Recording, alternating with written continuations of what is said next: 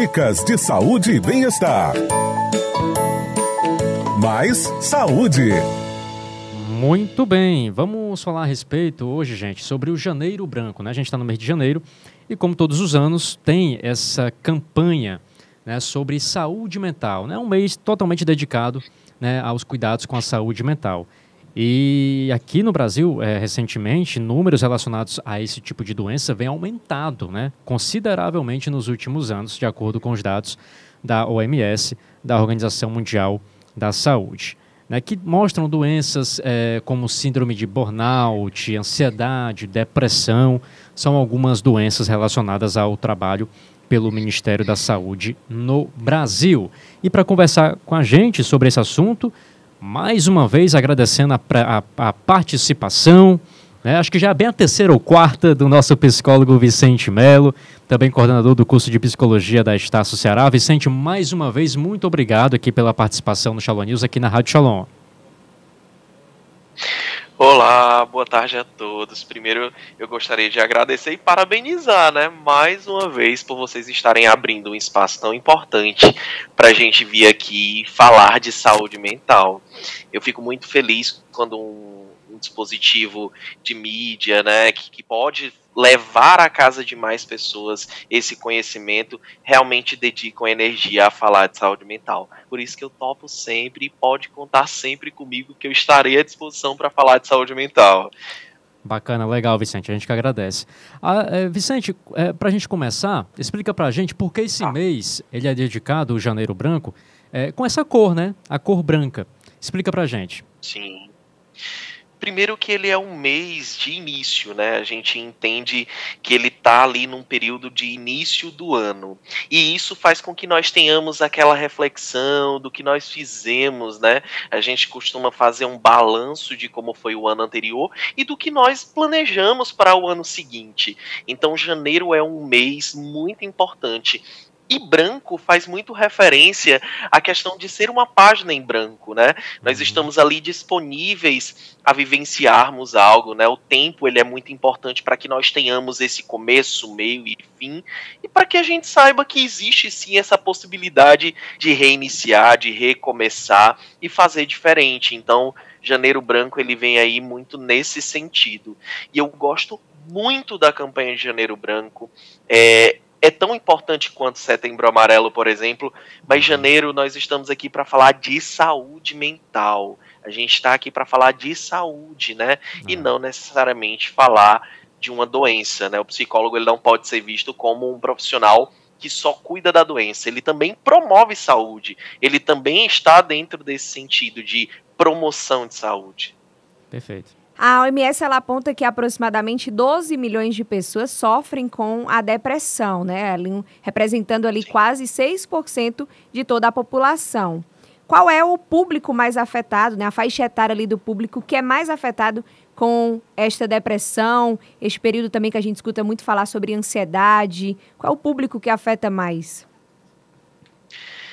Essa tua pergunta, é, recentemente nós tivemos um estudo, né, feito aqui no Brasil, mais especificamente, trazendo um pouco mais para nossa região. E, e foi alarmante, né? Perceber que Fortaleza, por exemplo, é a capital do Nordeste que nós mais temos casos de diagnóstico de depressão e de ansiedade. O Brasil ele é um dos países onde mais a gente encontra essa tendência à questão da depressão e esse diagnóstico ele pode ter duas vertentes, uma positiva e uma negativa. Positiva quando a gente entende que o nosso público ele realmente está sensível, ele realmente entendeu a importância de buscar um profissional da área de saúde mental ou negativa quando a gente entende que fatores externos têm potencializado isso. Mas um dado que me chamou muita atenção, você pediu para destacar o público, né? As mulheres. É, eu, inclusive, li um monte sobre isso para tentar ter mais propriedade para falar. E a gente percebe o quanto a mulher ela é cobrada, né, de forma mais intensa do que o homem.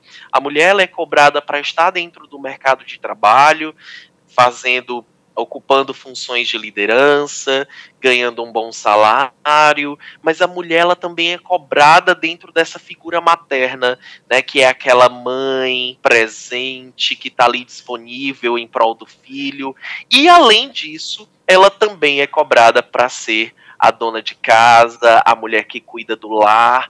Então acredito que essa cobrança exacerbada para esse público feminino traz essa incidência maior para as mulheres. E até também com relação à estética, né? As mulheres são muito mais cobradas, elas têm que estarem magras, elas têm que adotarem um, uma cor de cabelo, elas têm que estar tá sempre maquiadas, elas têm que estar tá sempre de uma forma, vestindo uma roupa. Então essa cobrança exacerbada em torno do, do público feminino tem potencializado esses índices de diagnóstico de depressão para as mulheres.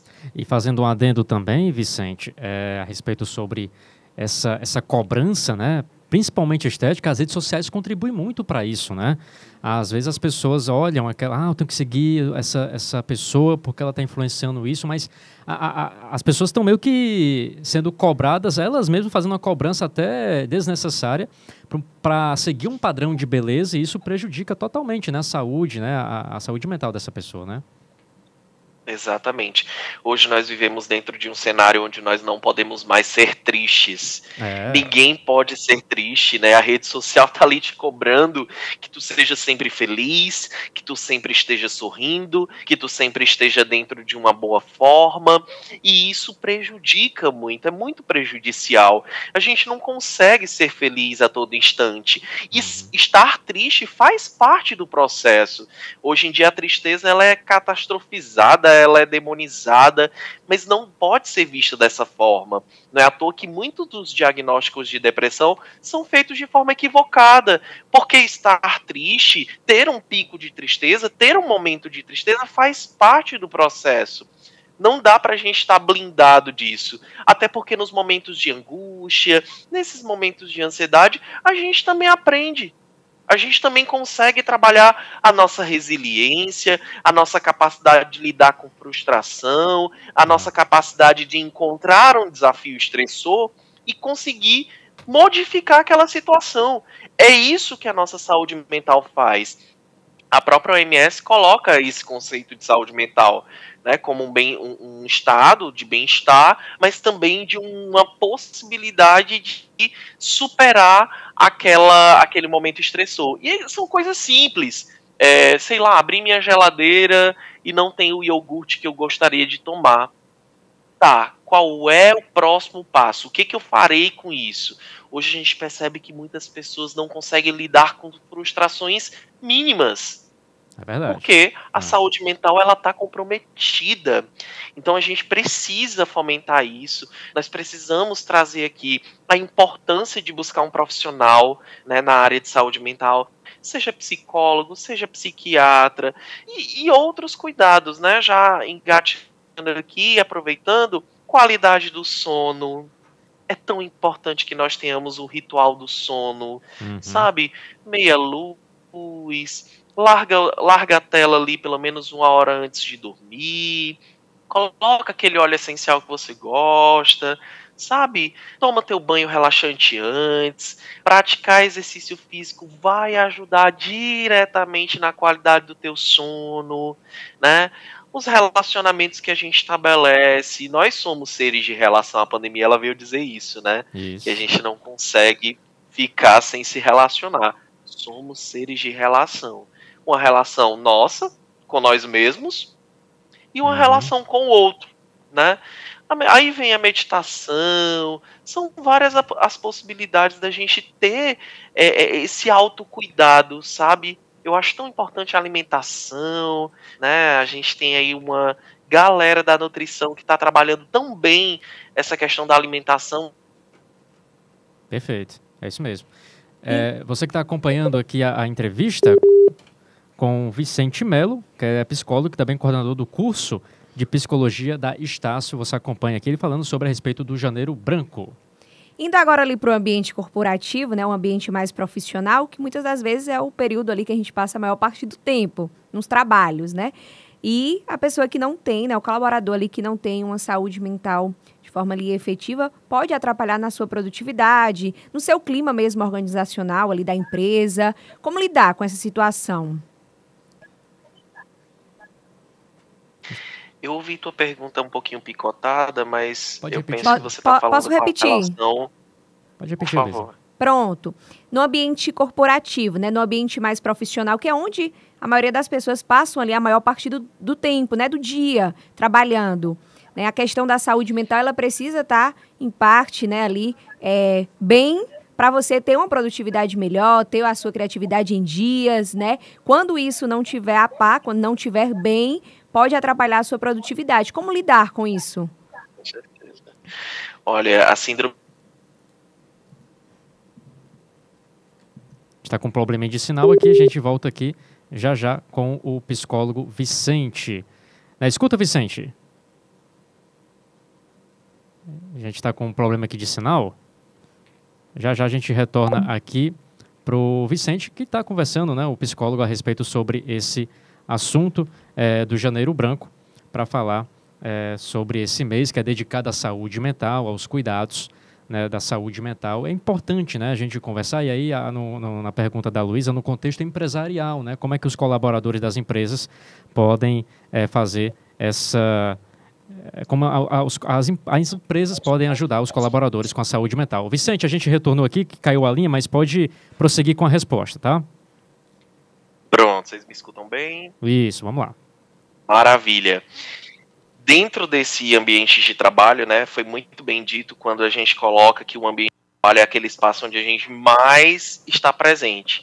Eu sou muito a favor que as empresas realmente possam promover uma rotina de saúde mental. Sim. Está com a, com a queda aqui de, de, de sinal. Vamos, vamos retomar aqui a, a linha Tá. com o Vicente. Pronto, Vicente, voltamos. Pronto, você me escuta bem? Pronto, agora sim. Pronto, dentro do ambiente de trabalho, eu acho super importante que as empresas elas tenham esse cuidado, né, esse zelo para mudar essa rotina e fazer com que as pessoas passem a estabelecer gera, é, interações realmente proveitosas e que a comunicação ela seja potencializada, uhum. que esses assuntos relacionados à saúde mental sejam trazidos sem tabus, né, que seja realmente estruturado um plano de ação para cuidar desses profissionais que ali estão, para que essa, essa, essa empresa ela realmente seja potencializadora de saúde mental e não é. o contrário. Verdade. Agora, é, Vicente, a gente sabe, você deu aí as dicas, né, para a gente seguir, para ter uma saúde mental saudável, começar 2024 com a saúde é, em dias, né, principalmente mental, é, mas muitas pessoas têm medo de procurar um psicólogo. Ah, psicólogo, eu não tô, eu não tô maluco para procurar um psicólogo. Muita gente tem esse, né, tem esse, esse conceito de procurar, ah, mas não tô maluco. Não, calma, gente. O psicólogo tá, tá disponível para você a qualquer hora, qualquer dia do, do ano. Né? Mesmo que você esteja passando por algum problema, o psicólogo está justamente para ir, né, Vicente? Então, tem que é, essa, essa, essa quebra de tabu, as pessoas terem um receio de procurar um psicólogo. Ah, mas eu não tô, eu não sou, não tô maluco, né? Assim, no, no, no, na, na, no literal da palavra, né? Mas muita gente tem esse receio de procurar um psicólogo porque justamente está com aquela, aquela pressão tão grande, né? Dentro de casa, no ambiente de trabalho, na vida pessoal, enfim. E aí não procura uma ajuda. Mas é importante né, essa pessoa procurar um psicólogo, é, tendo alguns sintomas, como a gente já citou aqui, e ter esse, esse auxílio, essa ajuda profissional, né? Muito, muito importante. Eu já ouvi muitas vezes, né? Psicólogo é coisa de louco. Quantas vezes eu já ouvi essa frase? E perceber que hoje nós já temos aí uma inclinação à mudança isso é muito bacana, mas ainda temos muito a percorrer. Primeiro, o profissional psicólogo ele não vai cuidar necessariamente da doença instaurada. Você não precisa ter um diagnóstico para buscar um psicólogo. Você pode buscar um, um, psicólogo simplesmente porque você quer que seu relacionamento melhore em alguns aspectos. Você pode buscar um psicólogo para que você consiga potencializar as habilidades que você já tem olha, Vicente, eu sou bom nisso, eu sou bom naquilo, mas eu gostaria muito de melhorar, de estar melhor ainda. Que bom, então o psicólogo ele vai ajudar nesse sentido e principalmente a buscar a questão do autoconhecimento. Quando você se conhece, quando você tem ali a possibilidade de uma interlocução consigo mesmo, quando você consegue falar consigo mesmo, isso é muito importante, porque você faz uma leitura muito mais clara a respeito de si mesmo. E isso faz com que os alertas, né, de cuidado, eles sejam mais visíveis. Então, a partir desse momento você consegue fazer uma intervenção adequada.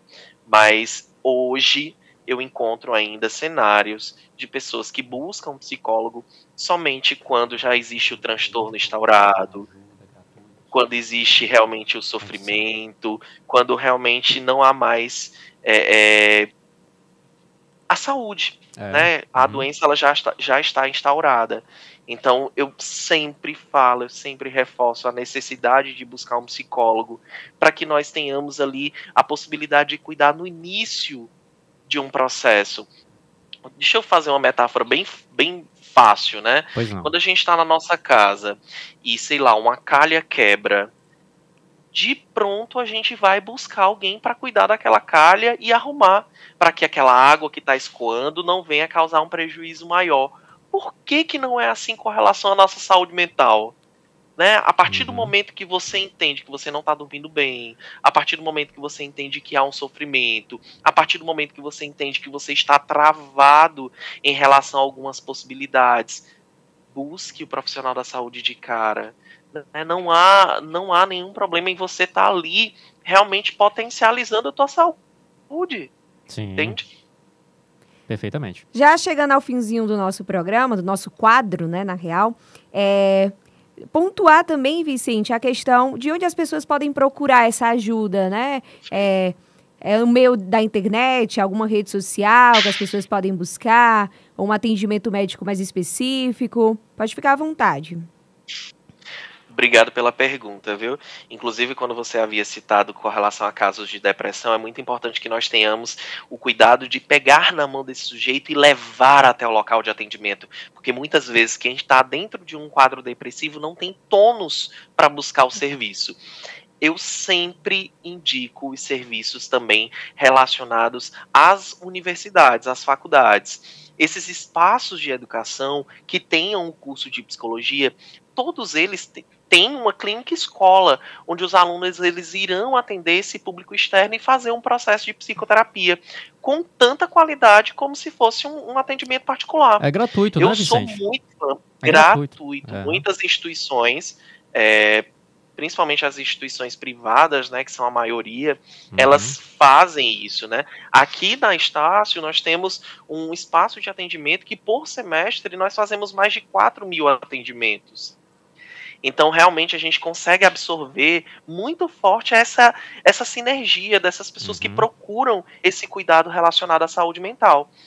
É, além disso, eu também indico, claro, os profissionais que estão em seus consultórios, que pode sim ser através da rede social, os próprios planos de saúde, né? Também tem o acesso ao profissional psicólogo, muitas pessoas não sabem disso. Enfim, existem muitas possibilidades de acesso. Entendo que não é perfeito, né, principalmente quando a gente fala dos órgãos públicos é, com relação ao acesso a um processo de psicoterapia ainda é muito falho, mas existem sim possibilidades. Perfeitamente. É, Vicente, eu quero agradecer, tá? A gente concedeu aqui a entrevista ao Vicente Melo, psicólogo e também coordenador do curso é, de psicologia da Estácio. Conversou com a gente sobre o Janeiro Branco, sobre os cuidados né, desse mês, essa campanha é, em relação à saúde mental. Vicente Melo, muito obrigado. Sempre solícito com a gente aqui na Rádio Shalom participando aqui das entrevistas para falar sobre saúde. Mais uma vez, muito obrigado, tá, Vicente? E claro, os microfones estarão sempre disponíveis aqui da Rádio Shalom para você em outras ocasiões. Eu que agradeço. Obrigado. Tchau, tchau.